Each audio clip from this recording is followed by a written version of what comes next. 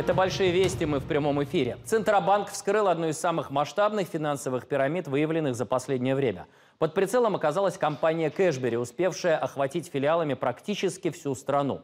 Сегодня информацию о ее деятельности ЦБ передал в Генеральную прокуратуру и МВД. А месяц назад фильм расследования об этой конторе сделал наш коллега Аркадий Мамонтов.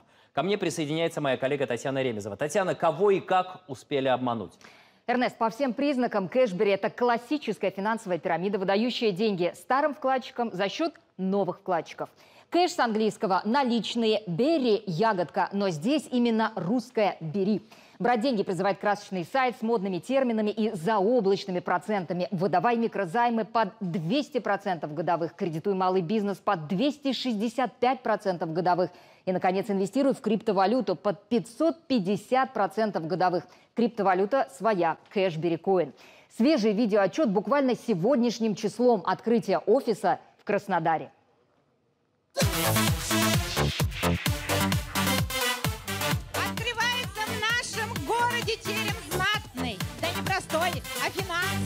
Очень люблю компанию Кэшбери. Мы все делаем налегке, на драйве, не заморачиваемся. Мы положили свои деньги, они у нас работают, крутятся, мы проценты получаем. Драйв и благодать льются на клиентов-счастливчиков на специальных тренингах и конференциях, ведь они вот-вот станут долларовыми миллиардерами. Деньги лежат у вас под ногами. Просто возьмите их. Скоро начнем выдачу лопат. Половина вашего пути уже пройдена. Вы в нужное время и в нужном месте. Помимо Москвы и Краснодара, в нужном месте уже успели оказаться десятки тысяч жителей Ростова, Перми, Екатеринбурга, Иркутска, Якутска и даже Уссурийска. Открытый филиал в Казахстане и дочерняя компания Кэшбери Лимитед в Дубае. Основатель пирамиды, не стесняясь, рассказывает о своем прошлом. Меня зовут Артур Варданян. Много лет я работал в банковском секторе. Успел поработать начальником службы безопасности.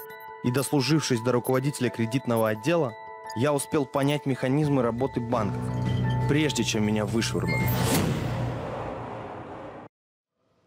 Татьяна, а по каким признакам Центробанк выявил именно пирамиду? Ну, подозрения у него вызвали, во-первых, слишком агрессивная реклама, вот те самые заоблачные проценты и, конечно, отсутствие лицензии ЦБ. Кроме того, что собираются деньги, мы пока не видим никакой другой экономической активности. И это один из ключевых признаков финансовой пирамиды. Группа компаний привлекает деньги любым способом и в рублях, и в наличной, и безналичной оплате, и в любых доступных криптовалютах. Ну, то есть вы можете деньги принести туда в любом виде, у вас никто не откажется их взять. В фильме «Расследование Аркадия Мамонтова» съемочная группа приносит деньги в кэшбери под видом вкладчиков. Автор фильма уверен, крах неизбежен.